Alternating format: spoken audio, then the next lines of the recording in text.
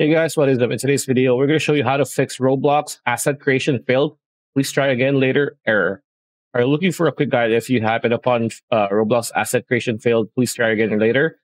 Stay tuned because this video is for you. All right, so this is this relates to problems uploading clothing. Uh, if you're having difficulty creating clothing, there are a few things to look into. So number one is image format all images that are uploaded will need to be either a .gif or .png or .jpeg file. So it's either a GIF, a PNG, or a JPEG. Make sure that it's one of them.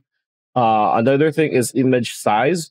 Make sure your image is the correct size. It's always important to use the appropriate temperature template when creating your clothing, but occasionally the size of the image can shift by a pixel or two when editing or saving, which uh, makes uh, this error happens sometimes. So you gotta be careful about these things. And yeah, that's pretty much it. That's the video. Hope you liked it.